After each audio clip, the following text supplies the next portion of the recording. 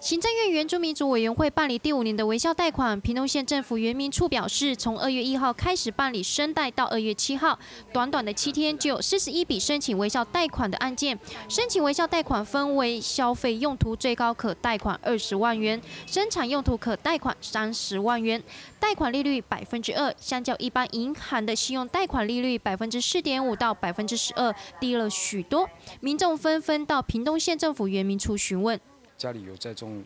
农作物啊的需要的一些补助啊，所以你今天就想过来问一问？对对对，咨询一下这样子。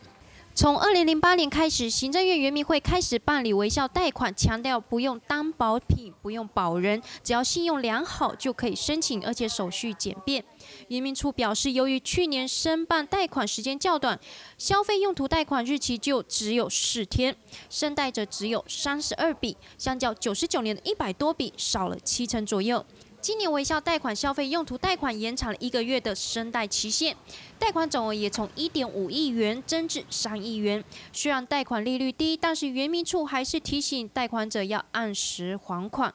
微笑贷真的是可以很微笑去贷它了哈，不过贷的不是不用还的哈，我我们这个钱贷的是要呃分期分月去摊还的哈。虽然它的利率很低，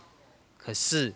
我们自己心目中要有呃设想那种偿还能力的这样子的一件事情。行政院原民会表示，微笑贷款预估协助了至少一千户原住民族家庭经济的周转，同时协助至少三百五十位原住民族人自主的创业，并创造了七百个以上的就业机会。消费用途申请截止日到二月二十九日，生产用途的申请截止日到十二月三十一日。有贷款需求的族人可检具相关的文件，亲自前往户籍或事业地所属的经营办金融机构办理。记者阿瑞哥舍，屏东市采访报道。